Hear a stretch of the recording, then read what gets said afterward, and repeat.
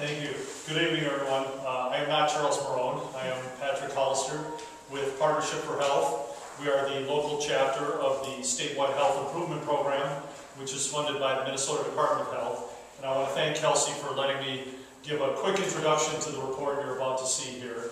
Um, we have been actively working in uh, Perham officially for two years. For practical purposes, about a year and a half. Uh, that's when Karen and I started visiting City Hall and uh, working with your uh, city staff and other people in the community, and it's been just fantastic. And tomorrow happens to be the final day, June 30th, 2011, of our two-year grant cycle. And I can't imagine a better way to end that two-year grant cycle than the presentation you're going to see this evening.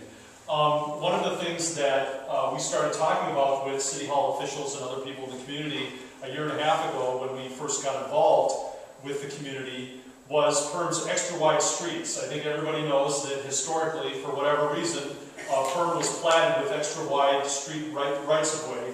And uh, one of the things that has uh, confounded uh, people in the city ever since is uh, what do we do with these extra wide streets? I know that in some ways they're a blessing, and in other ways uh, it's not such a great thing.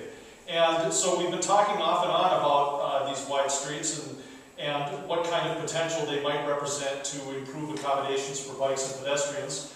And one of the things that happened during the course of the last year and a half was, uh, as most of you know, we awarded the City of Perham what we call a mini grant, uh, because we're funded by a grant, so we in turn granted you what we call a mini grant to uh, purchase various things and, and, make various expenditures to uh, improve facilities and infrastructure here for bicycles and pedestrians in Perham.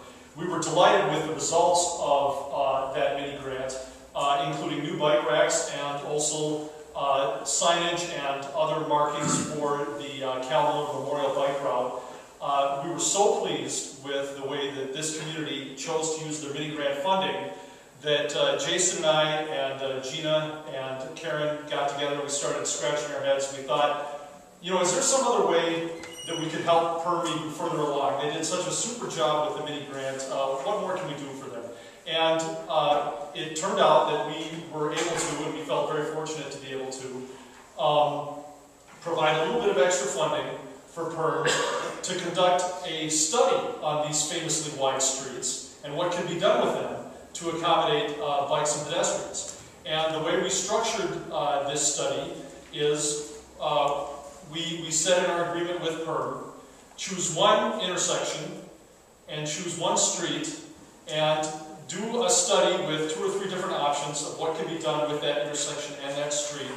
We left it up to Perham to choose the intersection, we left it up to Perham to choose the street, and we left it up to Perham to choose the consultant.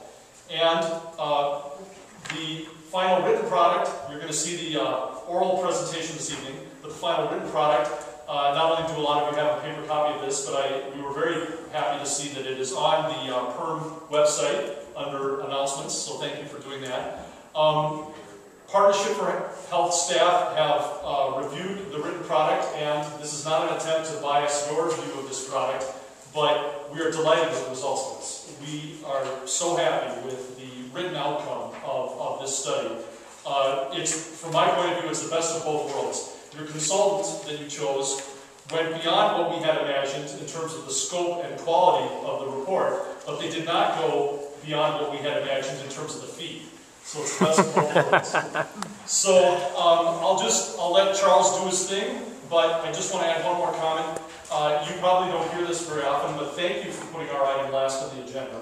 And the reason why we appreciate that is because it was Charles' idea uh, two or three weeks ago, and the weather is cooperating with us this evening, that after the presentation is over, uh, Charles wants to take us on a little mini field trip, and we don't have far to walk, to actually look at these streets and intersections. And so you're all invited to join Partnership for Health staff and Charles to take a look at this street and this intersection, and uh, we're going to make a little site visit after it's over. And I'm going to leave it to uh, Kelsey's parliamentarian judgment whether that field trip should be done before or after adjournment.